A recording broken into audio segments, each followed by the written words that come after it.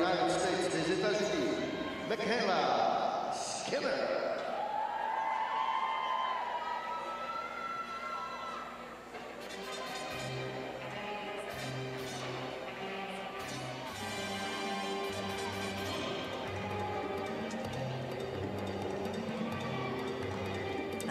une grande majorité des athlètes vont faire un tour complet. Elle, avec sa puissance, elle a le temps de faire un demi-tour supplémentaire dans ce saut.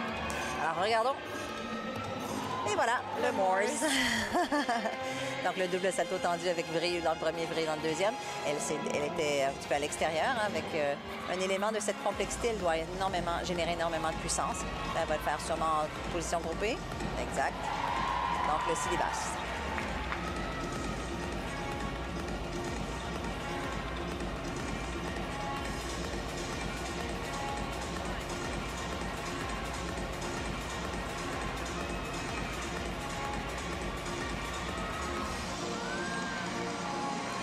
Et troisième ligne.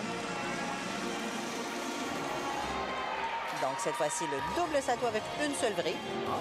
On avait déjà exploité le double-double, donc là, c'était une seule vrille. Et on voit, on a vu plusieurs athlètes qui commençaient avec Oui. cette ligne, mais qui là, le fait en En troisième. troisième ligne acrobatique.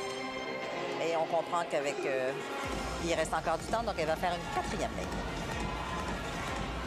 Qui, dans la grande majorité des cas, est le double salto arrière carpé. Verrons dans son cas, elle ajoute un salto avant. Ah! Dans ce cas-ci, la double brille et qui est un élément aussi d'une valeur D, qui a la même valeur que le double salto arrière carpé.